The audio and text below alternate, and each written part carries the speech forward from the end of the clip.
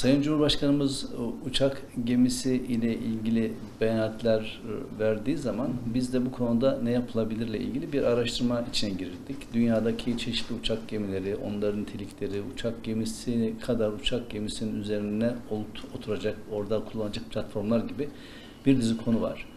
Ee, bunu araştırırken de e, kamuoyunda da adı uçak gemisi olarak artık adlandırılıyor olan e, gemi, Anadolu gemimiz ile ilgili e, bir şeyler yapabilir miyiz diye düşündük. E, Selçuk Bey'le geçen sene hatta bir 14-15 ay önce diyelim, diyelim böyle bir diyalogumuz oldu. Ya bu gemiyi bir çalışsanız buraya belki büyük uçak değil de İHA SİHA'lar olabilir mi diye. Onlar da bunu görev olarak aldılar. Sağ olsunlar geçen sene Ocak'tan beri belki bir çalışma içine girdiler. Gemiyle ilgili verileri kendilerine gönderdik. Kendileri daha önce de gemiye ziyaret yaptılar e, Baykar olarak. E, bu e, ilk ziyaretleri değil. E, tersane bu konuda belirli tasarım çalışmaları yaptı. Çeşitli opsiyonlar çalıştılar. E, Baykar e, yeni bir e, dönüştürülmüş SİHA geliştirmekle ilgili faaliyetlere başladı.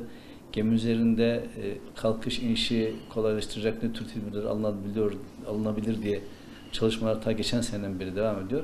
İş belli bir noktaya geldi. Şu anda e, ete kemiğe bürünme aşamasında da bir ziyaret yapıp tekrar e, meseleyi yerinde incelemek, e, geminin işletmeye alındığı devrede neler konabilir üstüne, hizmet sırasında bu ne kadar mümkün olur gibi e, çalışmalar devam ediyor. Bu konuda da yine herhalde oyun değiştirici bir kavram olarak gündeme gelecek. Tabii onun kullanılış şekli, e, İHA'lardaki çeşitli e, sistemlerin veya üzerine konacak e, faydalı yüklerin neler olacağı, nasıl kombin edileceği, e, kontrol e, imkanları vesaire gibi bir dizi konu e, tabii çalışılıyor ki bunlar orijinal olarak geminin tasarımı ve imalatı sırasında gündemde olmayan ama işte son bir senedir gündemde tuttuğumuz ve çalıştığımız konular olduğu için de mevcut e, tasarıma çok fazla zarar vermeden, çok büyük modifikasyonlar yapmadan neler olabilir gibi çalışmalar devam ediyor.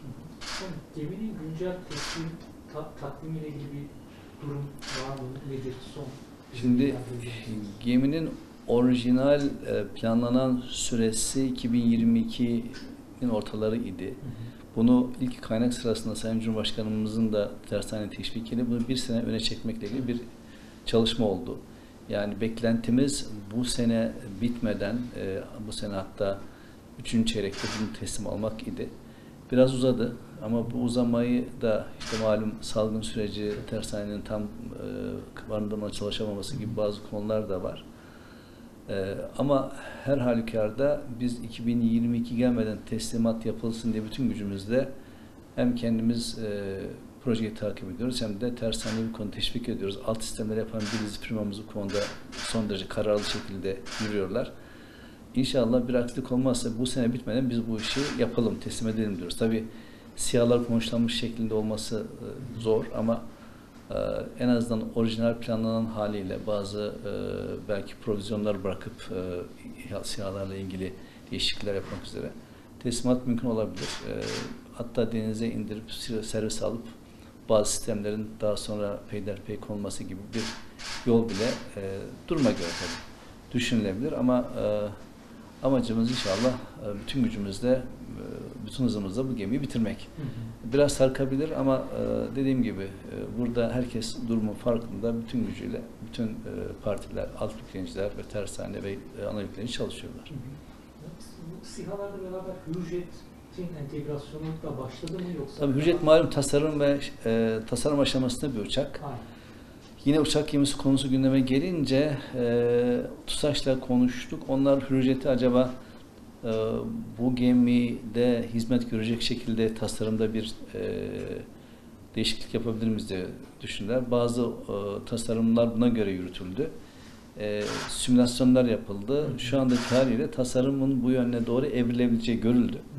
O çalışmalar da devam ediyor. Yani e, amaç Hürjet'i aynı zamanda e, Anadolu gemisi gibi bir gemiden e, de op, e, operasyon yapabilir hale getirmek. Güzel bir motivasyon var evet. Çok teşekkürler efendim. Çok sağ olun.